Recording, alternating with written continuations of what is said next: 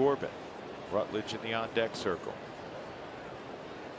And that's a base hit up the middle. Yorvie got fooled a little bit, kept the hands back and just kind of blocked it up the middle. And Helton scores the Rockies' second run.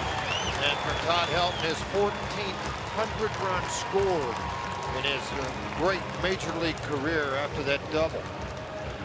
That is one of the 1400 marks that we all wanted to see him get to. The other one is 1400 RBIs, and he's three away, I believe, from that.